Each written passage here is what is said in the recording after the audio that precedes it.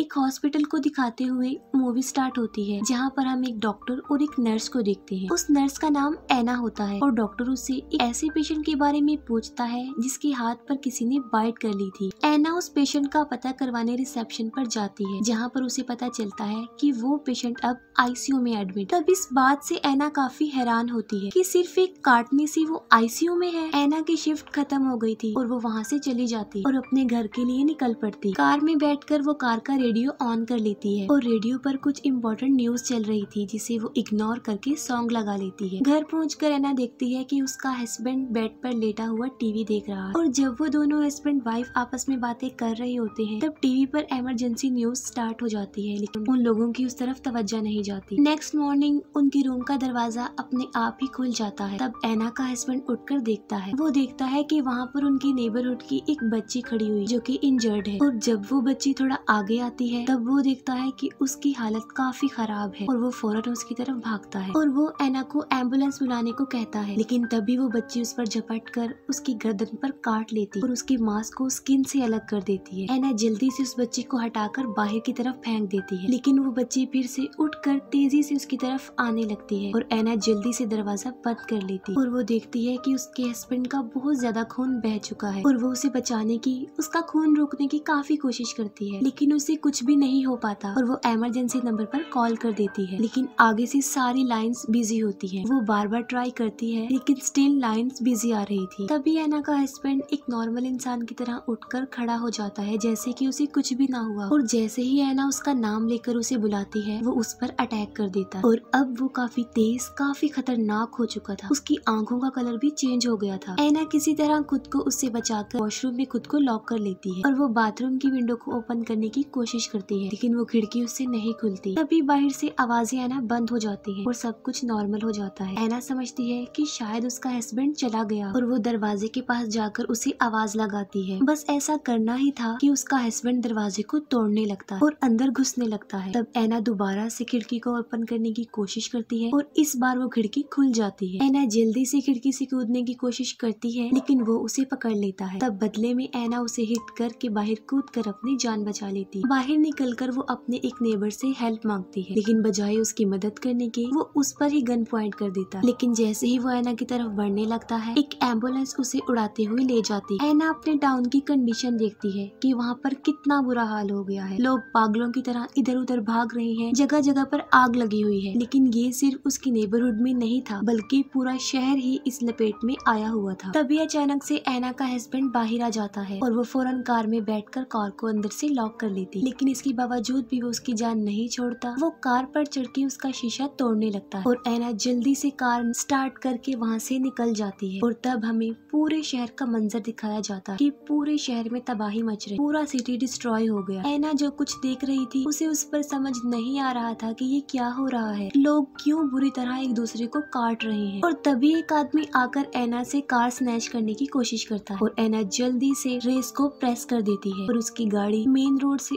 उतरकर क्रैश हो जाती है और एक ट्री में जाकर लगती है, जिससे एना बेहोश हो जाती है। जब एना को होश आती है तो वो कार से बाहर आती है। कार से बाहर आकर एक पुलिस ऑफिसर, जिसका नाम कैनेट होता है, वो उसे गन पॉइंट कर देता है और उसे कुछ बोलने के लिए कहता ताकि उसे ये पता चल सके कि वो इंसान है या जोम्बी क्योंकि जोम्बी बोलते नहीं है। जिस पर एना प्लीज़ कहकर इस बात का सबूत देती है कि वो एक इंसान और जब पुलिस ऑफिसर को इस बात का यकीन आ जाता है कि वो एक इंसान है, वो आगे बढ़ जाता है और एना भी उसके पीछे पीछे चलने लगती है क्योंकि ऑब्वियसली वो एक पुलिस ऑफिसर के साथ सिक्योर रहेगी। अभी वो थोड़ी दूरी पर ही पहुँचते हैं कि सामने से उन पर कोई गोली चला देता और वहाँ पर तीन लोग होते हैं, जिनमें एक लड़के का नाम होता है माइकल दूसरे का होता है एंड्रयू और उनके साथ उसकी वाइफ भी होती है। उन बॉयज़ में एक लड़का एंड्रयू ने कहता है कि उन लोगों ने उन्हें जॉम्बी समझकर उन पर गोली चलाई। तब वो पुलिस ऑफिसर कैनित आगे बढ़ता है, क्योंकि उसे एक जगह, जिसका नाम फोर्ट पेस्टर होता है, वहाँ पर जाना था, क्योंकि उसका भाई भी वहीं पर था। लेकिन वो लोग उसे वहाँ जाने के लिए मना कर देते हैं। ये कहते हुए कि उन लोगों ने भी वहाँ जाने की कोशिश की थी और इस कोशिश में वो लोग आठ से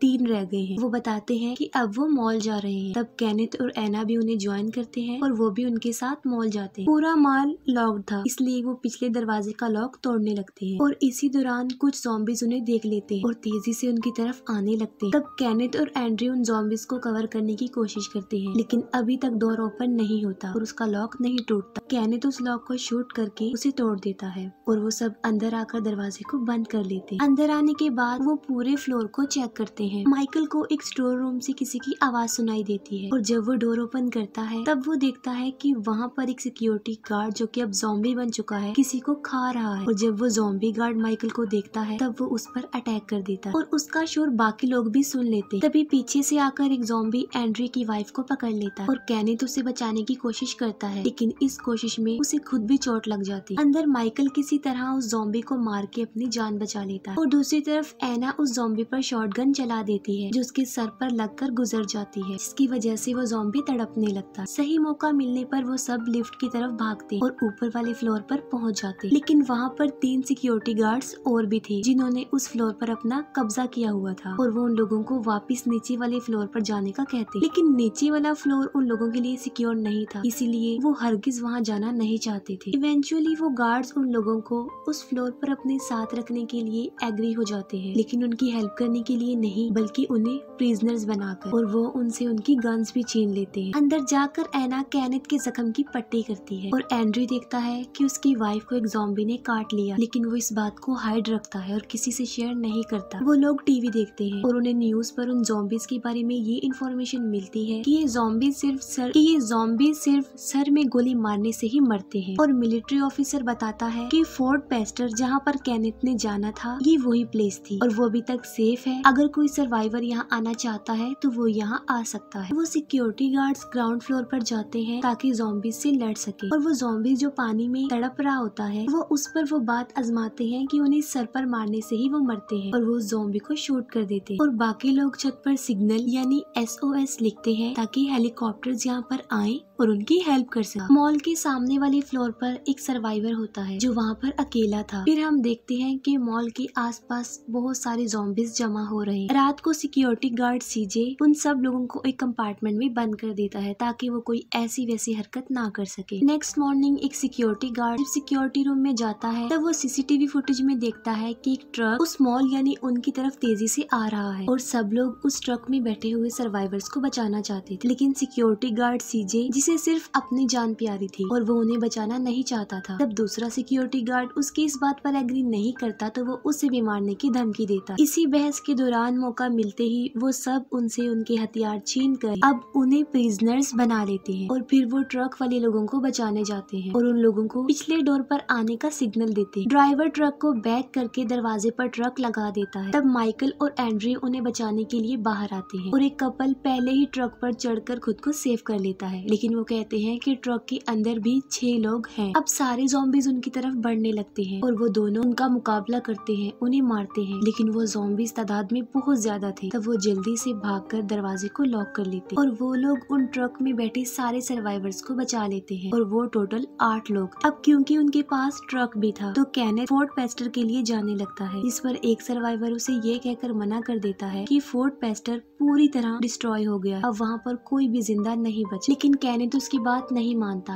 और वहाँ से जाने लगता है। तब माइकल उसे ये कहकर रोक लेता है उन लोगों को उसकी यहाँ पर ज़रूरत। तब कैनित अपसेट होकर छत पर जाता है, जहाँ पर सामने फ्लोर वाला सर्वाइवर उससे इंफॉर्मेशन माँगता है। तब कैनित उसे बताता है कि फोर्ट पेस्टर खत्म हो गया है और अब कोई भी मदद नहीं आएगी। दूसरी तरफ़ एना उन सर्वाइवर्स में से एक औरत का चेकअप कर रही थी। हालाँकि उस औरत को बुखार नहीं था, लेकिन एना को ये बात समझ में नहीं आ रही थी कि उसे कौन सा इन्फेक्शन हुआ है, क्योंकि उसकी हालत बिगड़ती जा रही और उसे किसी ने काटा हुआ था। एना दूसरे मेल सर्वाइवर का भी चेकअप करती है और उसे भी किसी ने काटा हुआ था। और तभी उस औरत की हालत खराब होने लगती और वो मर जाती है। अभी वो सब लोग सिचुएशन को समझ ही नहीं पाए थे कि वो दोबारा से उठ जाती। एना की तरफ़ झपटने लगती है। एना एक सरिया उसकी आँख में घुसा कर उसे मार डालती। फिर वो सब लोग आपस में डिस्कशन करने लगते हैं और एना उन्हें बताती है कि ये एक जोम्बी वायरस है जो काटने से फैलता है। और वो उस मेल सर्वाइवर के बारे में बताती है कि उसे भी जोम्बी ने काटा हुआ है और वो भी अनकरीब जोम्बी बन जाएगा। ये सुनकर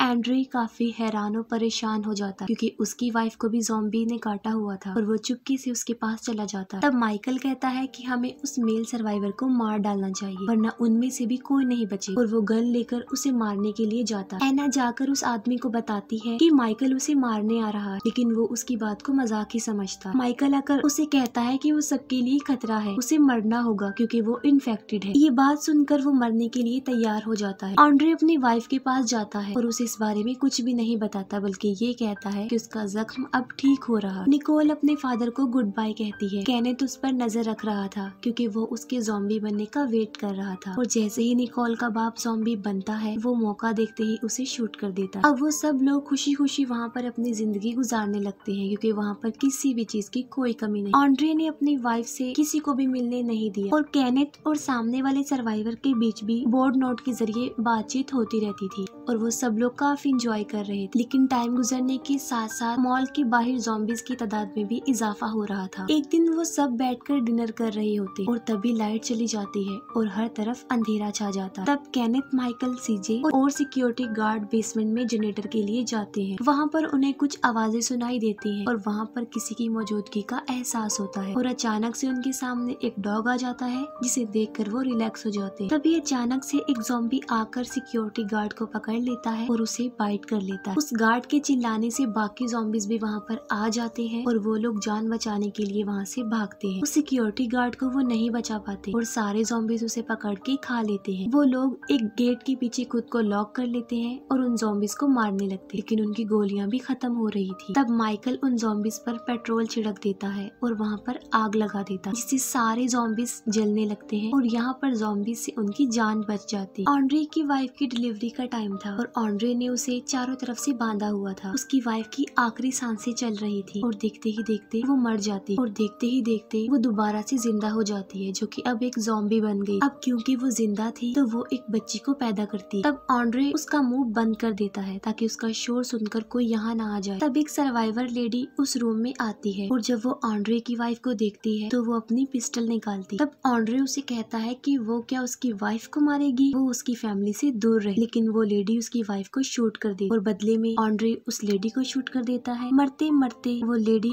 ऑन्ड्रे पर भी गोली चला देती और वो भी मर जाती शोर की आवाज़ सुनकर सब लोग वहाँ पर आते हैं और वो देखते हैं कि वो सब मर गए हैं, लेकिन वो बच्ची अभी ज़िंदा है। एना उसके चेहरे से कपड़ा हटाती है तो वो देखती है कि वो बच्ची जॉम्बी है, यानी वो इन्फेक्टेड ही पैदा हुई है और एना उसे भी मार डालती है। ये देखकर वो सब लोग आपस में डिस्कस करते हैं कि वो जॉम्बिस के शिकार में आकर ऐसे हरगिज नहीं मरेंगे। तब माइकल उन्हें बताता है कि उसने बेसमेंट में दो बसेस देखी थी और वो उसमें बैठकर यहाँ से भाग सकते हैं। तब एक सर्वाइवर मज़ाक में कहता है कि उसके बाद वो उसकी बोट में जाएँगे और वहाँ से वो भाग जाएँगे। तब ना चाहते हुए भी सब लोगों को इस रिस्की प्लान पर एग्री होना पड़ता है और वो डिसाइड करते हैं कि बोट से जाने के बाद वो एक ऐसी जगह पर जाएँगे जहाँ पर कोई भी आबादी नहीं होगी। वो लोग उस जगह पर अपनी सिक्योरिटी के लिए पूरा इंतज़ाम करते हैं क्योंकि वहाँ पर किसी चीज़ की कोई कमी नहीं। कैनेथ सामने वाले सर्वाइवर को बताने जाता है कि सिर्फ़ पाँच दिन रह गए और वो सर्वाइवर कहता है कि वो भूखा है। और उसकी हालत देखकर ऐसा नहीं लग रहा था कि पाँच दिन तक बगैर खाए पिए वो ज़िंदा रहे। वो उस डॉग के ऊपर खाने का सामान और एक वॉकी टॉकी रखकर रस्सी के ज़रिए उसे नीचे उतार देता और वो सामने वाला सर्वाइवर विसल बजाकर उस डॉग को अपनी तरफ़ बुला लेता और एक छोटे से दरवाजे से उसे अंदर ले लेता। लेकिन उसके साथ बहुत सारे जॉम्बिस भी उस दरवाजे के ज़रिए अंदर चले जाते। हैं वो वॉकी टॉकी के ज़रिए उस सर्वाइवर से कांटेक्ट करते हैं, जिस पर उन्हें पता चलता है कि उसे भी उन जॉम्बिस ने काट लिया। फिर तभी उन्हें ट्रक की आवाज़ आती है और उस ट्रक में निकोल होती है, जो सामने वाले सर्वाइवर की दुकान पर जाती है उस डॉग को बचाने के लिए। है उन लोगों को वही सर्वाइवर नज़र आता है जो कि अब जॉम्बी बन गया था। और वो निकोल को वहाँ से निकलने का कहते हैं और ये कहते हैं कि वो वहाँ पर छुप जाए। तब वो लोग गटर के ज़रिए उसे बचाने के लिए जाने का प्लान बनाते हैं और एक सर्वाइवर को डोर पर खड़े होने का कहते हैं ताकि जब वो वापिस आए तो दरवाज़ा खुला हो। गटर के ज़रिए वो सब लोग दुकान के बाहर तक आ जाते हैं। लेकिन जब लास्ट वाला सर्वाइवर आने लगता है। तब गटर के ढक्कन की आवाज़ से वो जोम्बिस उन्हें देख लेते हैं और उनकी तरफ़ बढ़ने लगते हैं। और वो लोग जॉम्बिस का मुकाबला करके उन्हें मार कर उस शॉप के अंदर चले जाते और वहाँ पर उन्हें वही सर्वाइवर मिलता है जो इस शॉप का ऑनर था। और वो अब जॉम्बी बन गया था। और कैनेथ उसे सॉरी कहते हुए शूट कर देता। फिर वो निकोल को देखते हैं कि वो बिल्कुल सही सलामत। फिर वो लोग वहाँ से अपने लिए बहुत सारे हथियार इकट्ठा करते हैं। और तब सीजे एक प्लान बनाता है। वो एक गैस सिलेंडर बाहर फेंकता है और उस सिलेंडर को शूट कर देता है, जिससे बहुत बड़ा ब्लास्ट होने की वजह से जॉम्बिस मर जाते हैं और वो सब गटर की तरफ़ भागते हैं। सबसे आखिर में सीजे रह जाता है और फिर वो भी गटर में आ जाता है और सबसे आखिर में एक सर्वाइवर बचता है और जॉम्बिस से बचने की वजह से वो गटर में जा गिरता है, जिससे उसकी टांग टूट जाती है। सीजे उसे बचाने की कोशिश करता है, लेकिन नहीं बचा पाता और वहाँ पर बहुत सारे जॉम्बिस आ जाते हैं। वो सब लोग किसी तरह दरवाजे पर आ जाते हैं और देखते हैं कि वहाँ पर वो सर्वाइवर नहीं है, जिसे वो छोड़कर गए थे और दरवाज़ा भी लॉक्ड है। और तभी वहाँ पर जॉम्बिस भी आ जाते हैं, जो तादाद में काफ़ी ज़्यादा थे। और अब वो समझ गए थे कि उनकी मौत उनके सामने तभी ऐना आकर वहाँ पर दरवाज़ा खोल देती है और वो सब लिफ्ट की तरफ़ भागते हैं और बेसमेंट में चले जाते हैं। और फिर वो लोग जल्दी से बसेस में बैठ कर वहाँ से बाहर निकलने लगते हैं। बाहर लाखों की तादाद में जोम्बिस थे, जो उन्हें चारों तरफ़ से घेर लेते। वो लोग उन जोम्बिस के बीच में फंस चुके थे। जोम्बिस उनकी बसेस को पलटने लगते हैं और वो उन्हें मारने लगते गोलियों से और चेंसों से। तभी सीजे एक गैस सिलेंडर जलाकर जोम्बिस की तरफ़ फेंकता है। और मौका मिलने पर बिल्कुल ठीक वक्त पर वो उस सिलेंडर को शूट कर देता है। और बहुत बड़ा ब्लास्ट होने की वजह से काफ़ी जोम्बिस मर जाते हैं और उनका रास्ता साफ़ हो जाता है। और वो लोग वहाँ से निकल जाते हैं। कैनेट देखता है कि उनकी बस के पीछे एक जोम्बी लटका हुआ है। तब एक सर्वाइवर उसे मारने के लिए चेंसो को स्टार्ट करता है। अब मोड़ आ गया था और कैनेट को बस को मोड़ना था, जिसकी वजह से उस सर्वाइवर का बैलेंस खराब हो जाता है। और वो सीधा जाकर एक मेल एक फीमेल सर्वाइवर के ऊपर गिरता है और चेंसो की वजह से वो कट जाती है और वो आदमी खुद भी कट जाता है और उनकी बस भी